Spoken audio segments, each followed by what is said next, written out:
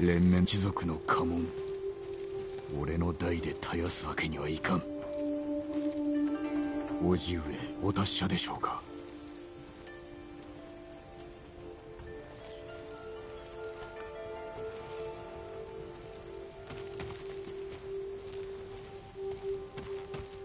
ユリが母上のために植えた花だ。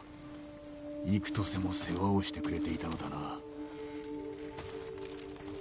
もうこの次は本土の武士。追われる身となろうとはな。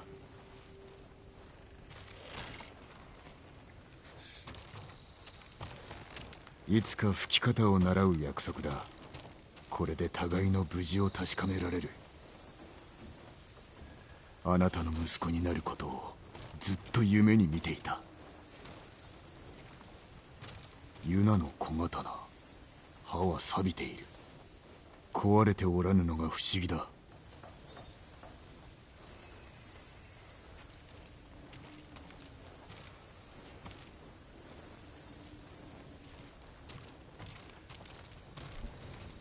最後まで忠義を尽くしてくれたな。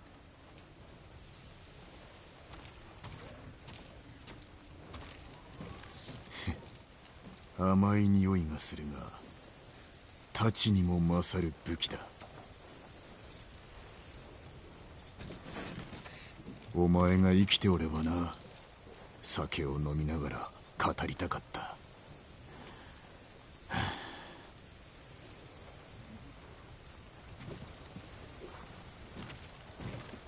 検事の秘蔵の酒怪しいものだがいずれ酒を酌み交わしたい。軍馬と弓と太刀があれば生きていけると思った。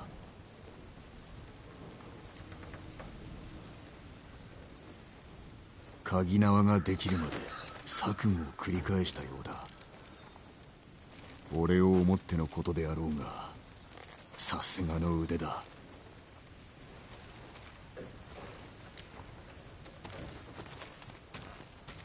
一族の墓所で拾ったもの枯れてもなお美しい。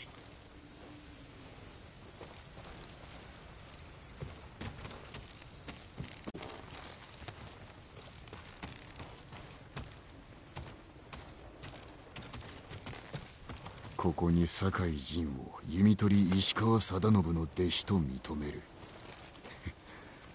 これで晴れて弟子入りだ。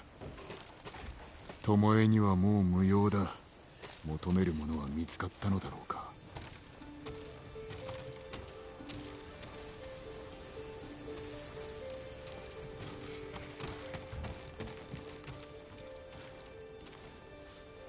ジン。いい隠れ家だね。あんたに合ってる。受け入れねばな。今や堺家は滅び俺は罪人となった。志村様のこと聞いた。追ってくるのかな。叔父上ではなく本土の者が来るだろう。あんたが生きててよかったよ。ハーンを殺して猛虎軍には長がいなくなった。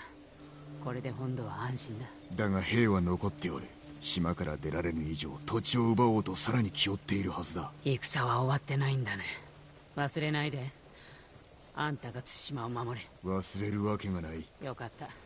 これからは二手に分かれようか。猛虎を退けるのも手早く済むだろうからな。また会おうそれまで達者で。ああ。達者でな。